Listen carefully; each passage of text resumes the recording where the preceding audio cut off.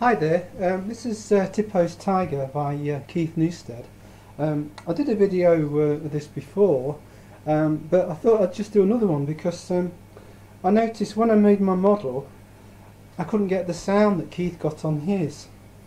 So um, I had a, a re-look at that, and, um, what I did was, if you notice, I've got a better sound now when I crank the handle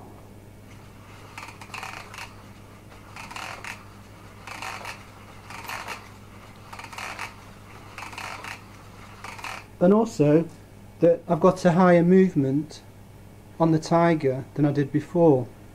So what I've actually done is if I just turn it round you'll see that on the gear wheel that makes the Tiger lick Tippo this little part here I've just made a piece out of plastic thin plastic and that just helps the sound. And I've also extended this arm here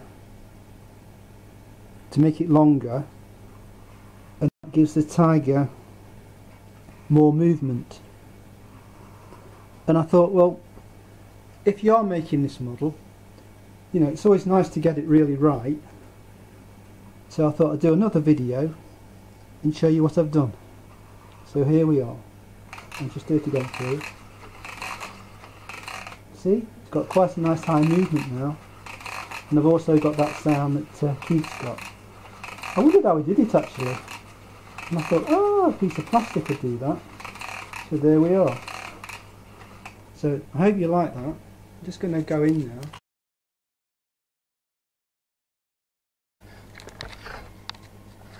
Just do that.